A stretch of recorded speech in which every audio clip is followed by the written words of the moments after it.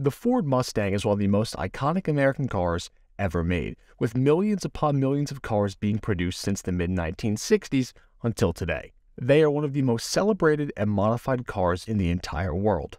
With big screen appearances in the likes of the movies Bullitt and Gone in 60 Seconds, virtually everybody can identify the Mustangs used in these movies if they were spotted out in the wild. But there is one extremely important Ford Mustang that almost nobody has ever heard of. Yet, it had arguably a bigger impact on the lives of young American men than all the other cars. And that Mustang was the one and only 1970 Boss 429 Lawman, a 1,000 horsepower monster of a car that was toured all around Vietnam during the height of the Vietnam War. Hello, everybody. Welcome back to another episode of Rare Cars. This is the channel where we dive into the past and explore some of the rarest and most iconic vehicles of all time. But with that out of the way, let's dive into the history and specs of the craziest Mustang ever made.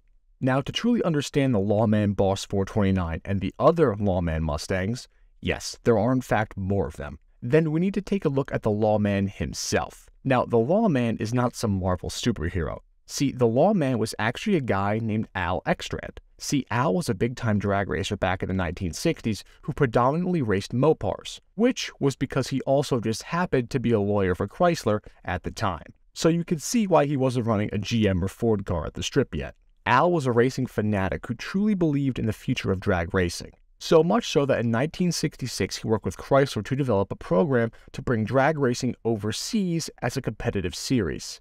They called it the American Commando Drag Team, which is a pretty sweet name if we're being honest.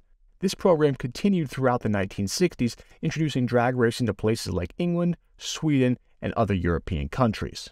Note that the absolutely crazy car street racing scene in Sweden today can likely be traced back directly to getting some of its roots from this drag racing program that Al spearheaded. Then, in 1970, the Lawman Mustang program started. See, around this time, there was an average of 50,000 plus road fatalities each year in America. Now, obviously, the cars in general were not as safe in the 60s and 70s as they are today, but also, this period was the heyday for street racing. Ford wanted to use the grassroots marketing knowledge that Al had to promote automotive safety to troops overseas, so they would be safe when they came home behind the wheel. They just happened to promote safety with some of the fastest cars the Ford built at the time because they knew the boys coming home from war would want to have something boring to drive. In total, Ford commissioned six Lawman cars to be built. Five of them were 428 Cobra Jet powered Mustangs that were conservatively rated at 335 horsepower. Now, the Cobra Jet cars were fast in their own right and were pretty mean street machines in the 70s. But the sixth Lawman car was a Boss 429 Mustang, the holy grail car for collectors. The Hemi-headed all-aluminum Boss 429s are some of the most sought-after Ford engines ever made. In factory trim, these Boss 429s were rumored to make 375 horsepower, but again, that was very, very, very conservatively rated. But all the Lawman cars, and specifically the 429 car, were far from stock. All the Cobra Jet Lawman cars were set up as street strip brawlers like an avid racer would have back in the day. The Boss 429 Lawman, though, well, they threw the kitchen sink at that one. This Boss 429 was full manic race car. With a big old root style supercharger on it and lots of help under the hood, this Boss pushed out close to a thousand horsepower in 1970. There was so much power that they had to throw out the four speed manual and swap into an automatic transmission. Which is another fun fact, as that makes this the only automatic Boss 429 ever made. Now, it is rumored that this specific Lawman Boss 429 cost around $20,000 to build in 1970 money, which is a ton of cash. While the Lawman cars were shipped over to the Pacific, an estimated 40,000 troops were able to actually see the cars and the safety demonstrations that they were used in across Vietnam, Japan, and other bases in the Pacific.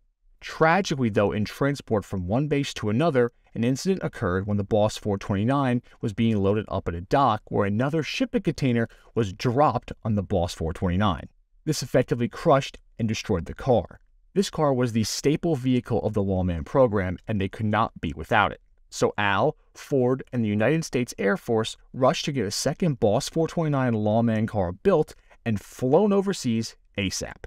The Boss 429 Lawman replacement has the special VIN number XXX429. The Lawman program continued throughout 1970 in the Pacific touring the cars from base to base. Unfortunately, when it came time to end the program, it was deemed too costly to bring these Mustangs back to the States, as Ford would not be able to sell these as new cars. As a result, most of the Lawman Cobra Jet cars were destroyed. However, due to the highly custom and expensive nature of the Boss 429 Lawman Halo car, this car did end up returning stateside. It was actually sold by Ford in 1971 to a local racer who raced the car in the greater Detroit area in the 1970s without the supercharger and without the Lawman moniker. The car under this private ownership stint was referred to as the Blue Devil. After this, the car bounced around a few other owners, eventually before being back in the hands of the lawman himself, Al Eckstrand. Then, after Al owned the car, the car was finally purchased by its current owner, Bill Goldberg, the WWE wrestling legend, in 2003. And since Bill took ownership of the vehicle, the Lawman car has been since faithfully restored back to its full 1,000 horsepower, supercharged glory of craziness. And that is the short but fascinating history of the Lawman Boss 429 and its other Cobra Jet counterparts. If you enjoyed this video, then we would greatly appreciate it if you could drop a like and also share this video with other enthusiasts. Also, please make sure you are subscribed to the Rare Cars YouTube channel and smash that notification bell for more documentary style videos just like this on the world's most interesting cars. Until next time, enthusiasts.